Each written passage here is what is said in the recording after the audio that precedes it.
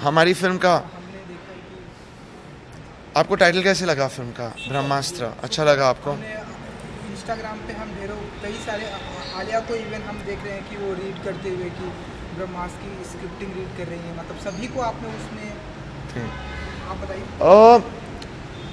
सो मैं बस ये कह सकता हूँ कि अ, बहुत टाइम से बहुत वक्त से मैं एटलीस्ट और मेरी टीम अ, इस फ़िल्म पे बहुत मतलब बहुत काम कर रहे हैं यू you नो know, इस फ़िल्म पे बहुत लंबा प्री प्रोडक्शन पीरियड रहा है।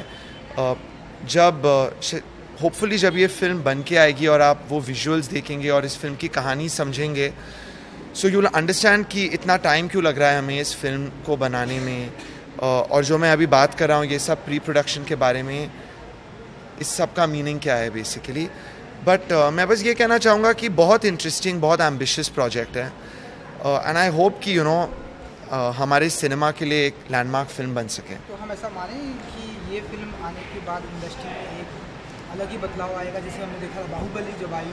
तो इस तरह का हम माने? बिल्कुल वही वही ख्वाहिश है।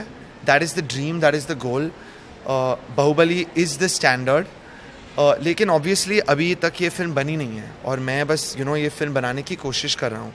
So that is the hope I really hope कि फ़िल्म इतनी अच्छी बन के निकले। बट वो आप दो साल के बाद जब फ़िल्म बनेगी तो आप कहना यू you नो know, वो मैं कैसे कहूँ?